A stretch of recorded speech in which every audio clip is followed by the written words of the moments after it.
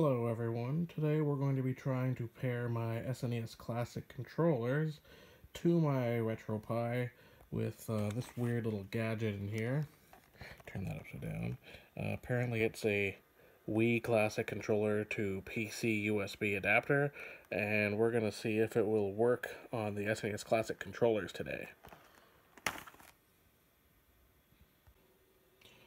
Alright, so I've taken it out of the package. It's pretty light feeling. You can see there it's got the two like Wii classic ports there. And then it's just got the normal USB on the other end there. So we're going to just pop this in here. And let's get that in there. And then, whoop, knocking my Pi off the table because this thing's pretty hop heavy. Stick that up there.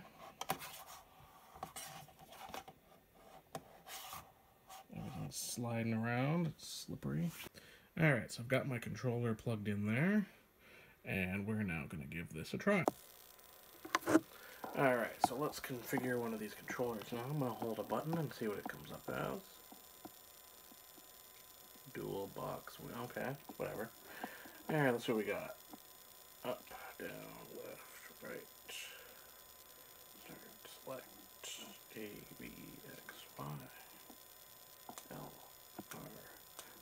that. Don't have that. Gonna get through these.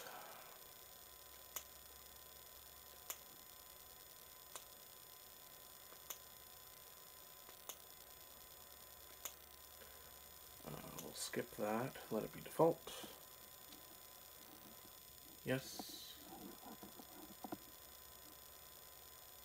let's see what happens. Okay. Alright, so far we're working.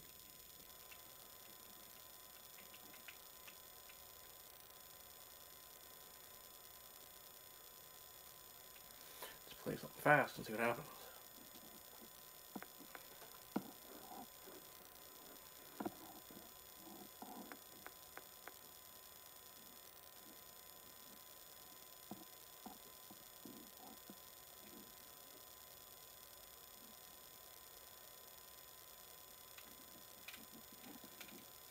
Far so good. Ooh, actually that feels pretty good.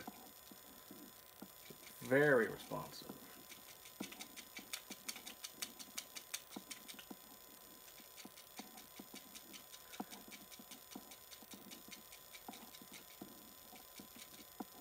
Okay, let's see if the second player works here.